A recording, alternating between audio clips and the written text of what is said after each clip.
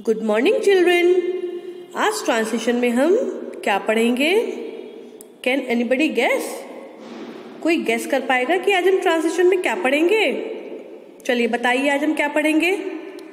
नहीं पता। No problem let me tell you आज ट्रांसलेशन में हम पढ़ेंगे वर्ब्स कहाँ से कहाँ तक? थर्टी वन से फिफ्टी तक. कहाँ से कहाँ तक पढ़ेंगे? थर्टी वन टू फिफ्टी इनमें से 31 टू 40 हम ऑलरेडी पढ़ चुके हैं। तो उनको हम पहले रिवाइज करेंगे, उसके बाद 41 टू 50 वर्ब्स को याद करेंगे इंग्लिश और हिंदी में, फिर उसके या उनके मतलब को समझेंगे। सो लेट स्टार्ट इट मेरे साथ साथ बोलिए कलर रंग भरना, कॉम कंगी करना, कम, आना कंप्लीट पूरा करना कंडेंस गाढ़ा करना कंटेन अपने में रखना कन्वर्स बातचीत करना कुक पकाना कूल ठंडा करना करेक्ट सही करना। एक बार फिर से पढ़ें। चलिए मेरे साथ साथ बोलिए। एक बार फिर से बोलेंगे हम लोग। कलर, रंग भरना कॉम कंघी करना कम आना कंप्लीट पूरा करना कंडेंस गाढ़ा करना कंटेन अपने में रखना कन्वर्स बातचीत करना कुक पकाना कूल ठंडा करना और करेक्ट सही करना। तो ये थे हमारे 31 टू 40 वर्ब्स जो हमने लास्ट क्लास में याद किए थे। तो चलिए, अब हम आगे के वर्ब्स को देखते हैं। उनकी इंग्लिश और हिंदी। फिर बाद में उनके मतलब को भी समझेंगे। Cough, खांसना। C O U G H cough, खांसना। इसे क्या प्रोनाउंस करते हैं? Cough cough, खांसना। Next is count C O U N T count count गिनना। C O U N T count. Count, गिनना. नेक्स्ट इज़ कवर कवर ढकना. C O V E R cover cover ढकना. C O V E R cover cover ढकना. Cross cross पार करना. C R O double S cross cross पार करना.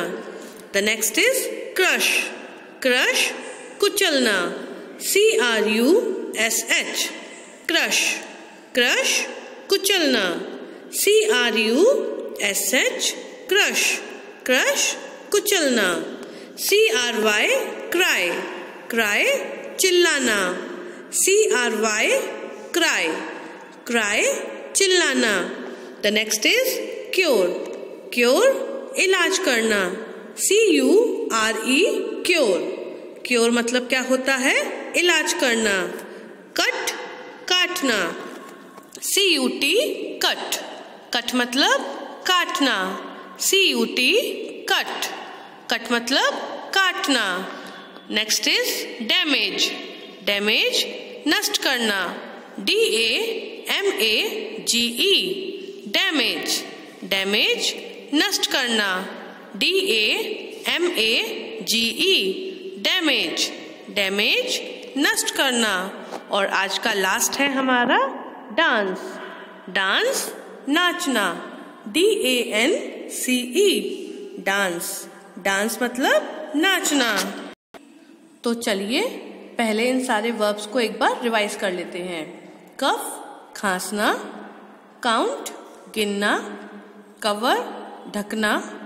Cross पार करना, crush, कुचलना क्राई चिल्लाना क्योर इलाज करना, कट, काटना, डैमेज, नष्ट करना, डांस, नाचना। अब चलिए इनके मतलब को समझते हैं। पहला है हमारा कफ मतलब खांसना। जैसे कि आपको खांसी होती है तो आप खांसते हैं। सिंपल सा मीनिंग है, जब आप खांसते हैं, आपके गले को साफ़ करते हैं या खांसते हैं it means cough next is count जिसका मतलब होता है गिनना। किसी भी चीज़ के नंबर को जानना, जैसे कि अगर आपके बॉक्स में पेंसिल बॉक्स में कुछ पेंसिल्स रखी हैं और कोई आपसे पूछे, इसमें कितनी पेंसिल्स हैं? तो आप कैसे बताओगे? पहले आपको उन पेंसिल्स को काउंट करना पड़ेगा, गिनना पड़ेगा वन टू थ्री करके। तो इसको बोलते हैं काउंट अब काउंट हम किसी भी चीज़ को कर सकते हैं। काउंट हम मनी को करते हैं। काउंट हम पेंसिल्स को कर सकते हैं। जो भी चीज़ काउंटेबल होती है काउंटेबल नाउन जो आपने पढ़े थे, जो भी चीज़ काउंटेबल होती है, हम उसको काउंट कर सकते हैं। Next is cover cover means ढकना। जैसे कि आप लोग अपने नोटबुक्स को कवर के साथ कवर करते हैं, या अपनी बॉडी को कपड़ों के साथ कवर करते हैं तो इसको क्या बोलते हैं कि वी कवर्ड आवर बॉडी हमने अपनी बॉडी को ढक लिया है, या फिर कभी कभी ऐसा भी होता है कि आपके पापा के पास जो भी व्हीकल है बाइक है स्कूटी है कार है, उसको पापा उसके कवर के साथ ढक देते हैं। मतलब एक कपड़ा लेते हैं और उसको ढक देते हैं। तब हम बोलते हैं कि ये चीज़ कवर हो गई। नेक्स्ट इज़ क्रॉस मतलब पार करना।